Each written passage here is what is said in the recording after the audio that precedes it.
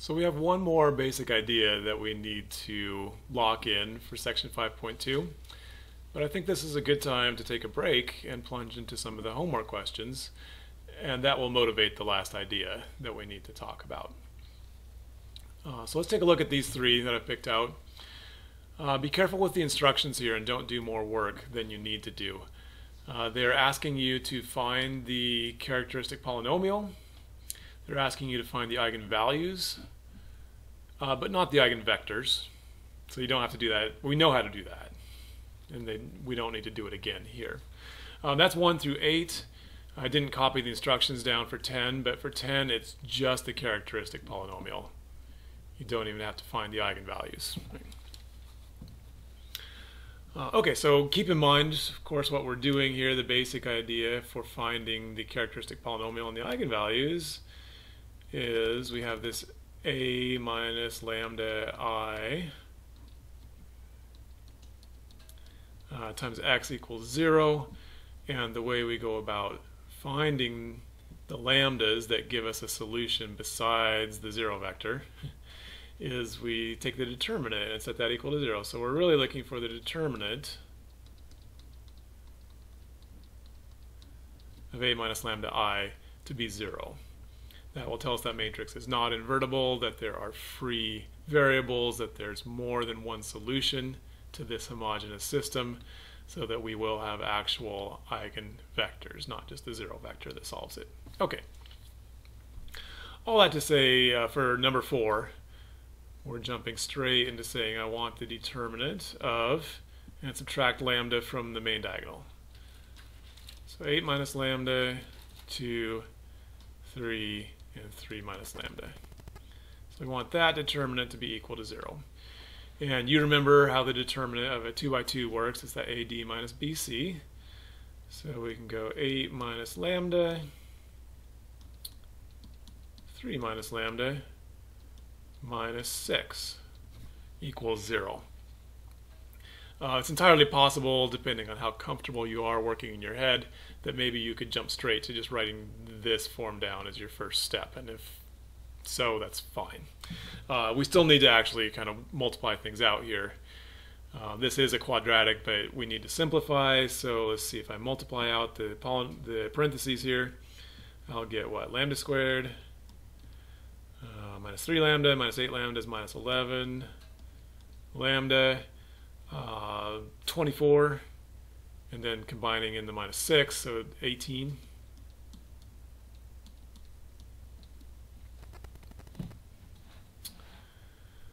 And now, so that is the characteristic polynomial, right? We've answered part one of the question here. Solving the characteristic polynomial will give us the real eigenvalues. And again, feel free to use quadratic formula if you like, but otherwise, if it's fairly easy to factor, that's not a bad way to go. This is minus 2 and minus 9. So eigenvalues of 2 and 9. And we are done. We have found the real eigenvalues, and we have found the characteristic polynomial. For 10, so all of 1 through 8 are, are 2 by 2 matrices. So the process will be pretty similar to this.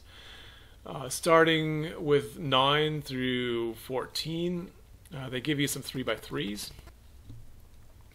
Same idea, you know that finding the determinant of a 3 by 3 is a little more work.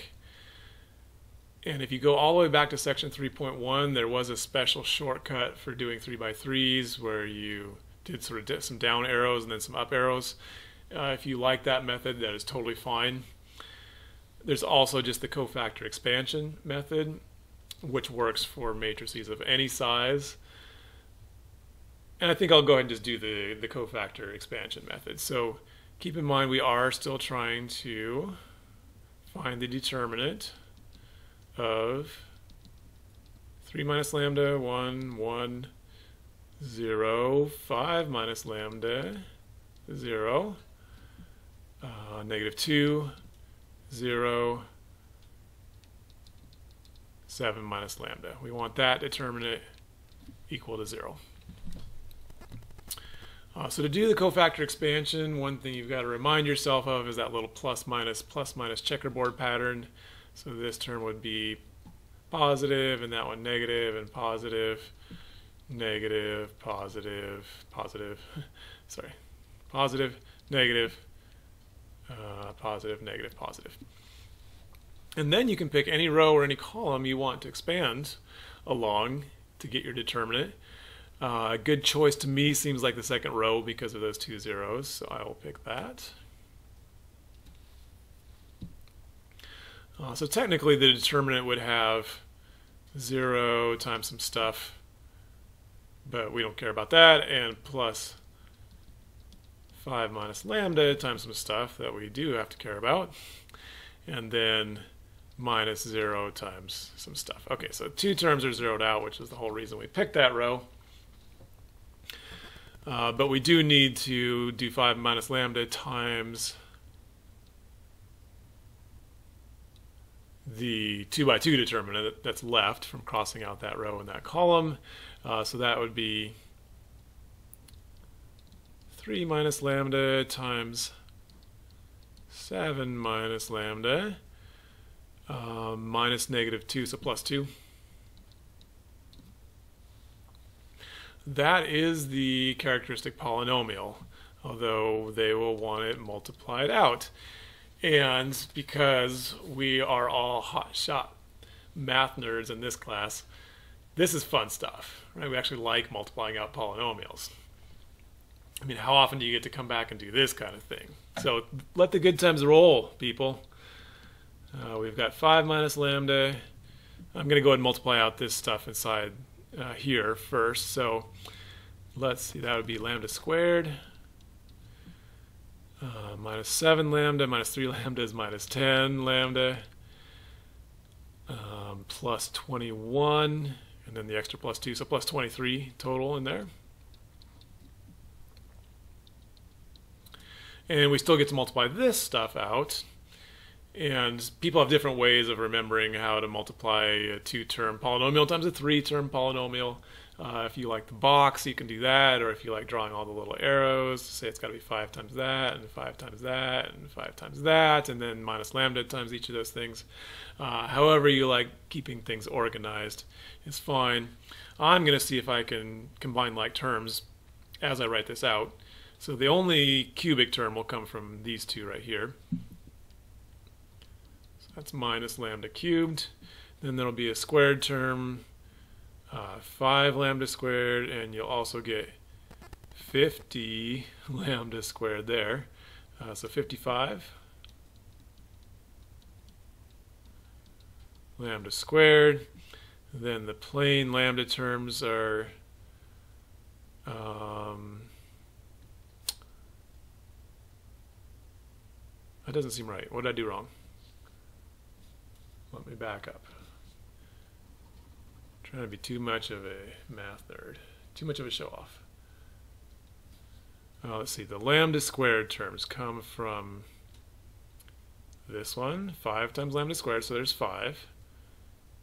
And then this one, plus 10 lambda squared, so that'd be 15 lambda squared. Maybe I should be doing the box. Clearly I can't handle this method. Okay, uh, let's get the lambda terms. Let's see, there's minus 50 and minus 23, so minus 73 lambda, and then just the constant term, which is 5 times 23, which is uh, 115. Equals zero. So that should be the characteristic polynomial. I'm actually going to put the video on pause just for a second and uh, check to make sure I didn't screw something up. Okay, yeah, so that's correct. That's the characteristic polynomial.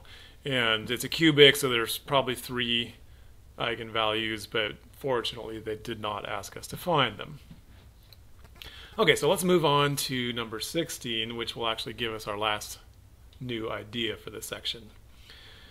Uh, 15, 16, 17 say list the real eigenvalues uh, repeated according to their multiplicities. And they give you like 4 by 4s or even bigger. And again, you know the basic thing you would need to be doing is like the determinant of, and then you'd have like 3 minus lambda, 0, 0, 0, 6, 2 minus lambda, 0, 0, 0, 3, 6 minus lambda 0, and 2, 3, 3, minus 5 minus lambda. This so the determinant of that lovely critter equal to 0. And we know normally finding the determinant of a 4 by 4 matrix, painful. However, there is something special about this particular 4 by 4 matrix, which is what? Right, triangular matrix. It's got zeros above the diagonal, and the I think 15 and 17 have the zeros below the diagonal, but all three of those are triangular matrices. And there's a beautiful, beautiful thing about finding the determinant of a triangular matrix. No pain. If you remember back in chapter 3, if you have a triangular matrix, the determinant is just the product of the main diagonal entries. So really the and they didn't even ask for the characteristic equation here, but the characteristic equation would be 3 minus lambda, just go right down the diagonal. 3 minus lambda, 2 minus lambda, 6 minus lambda, negative 5 minus lambda. Basically comes from doing the cofactor expansion across the top row. The other three terms are all 0, and then when you do this one, pick the top row again, and pick the top row again, you just get the, this product here. Anyway, that is the characteristic polynomial, which I am not going to multiply out. It's already in factored form, which is what we want anyway, right? Because we want to solve, find the lambda values that make this zero, and it's very easy to see them here in this factored form. Uh, it's 3, and 2, and 6, and negative 5. So really, if you have a triangular matrix, and you want the eigenvalues, they are just the entries on the main diagonal. You don't need to write out anything. Uh, you can say, hey, the real eigenvalues are 3, 2, 6, and negative 5. Uh, multiplicity means was it repeated? None of these are repeated, uh, so they all have multiplicity of 1. If it had been 3, 2, 2, negative 5, then the 2 would have had multiplicity 2, because uh, it was repeated. Uh, but these are all multiplicity 1. Uh, and notice too, just as by way of preview, that they keep saying real eigenvalues, which makes you think that at some point we might get some complex eigenvalues, and you are not disappointed. Uh, we will get that in a future section. Okay, so we're basically done. I think you've seen the three types of problems you're going to get on the homework. Before I turn you loose on the homework, I just wanted to point out, take us back to the invertible matrix theorem one more time. Uh, we've got all these, whoops, that's not it. We've got all these statements, um, A through R, that are equivalent to saying the matrix is invertible. You know, all these things like the homogeneous system only has the zero vector solution and the column span and the rank is the same as the number of columns, and all these things. Uh, we actually get to add a couple more now. So meet S and T. Uh, T is actually just picking up this one that we had back from chapter 3. It said the determinant is not 0. Um, S says that 0 is not an eigenvalue. Uh, keep in mind 0 is a legitimate eigenvalue in general. Uh, but if you have a zero as an eigenvalue, that means that the vector that goes in, whatever it is, uh, comes out as the zero vector, which means that you have more than just the trivial solution. So zero can't be an eigenvalue uh, to match all these other things. Uh, it's too bad, by the way, that we don't get into chapter 7, where we could actually finish out the invertible matrix theorem because we're not done yet. A through T is not enough. Uh, we also have If you get into spectral decomposition, U and V and W and X.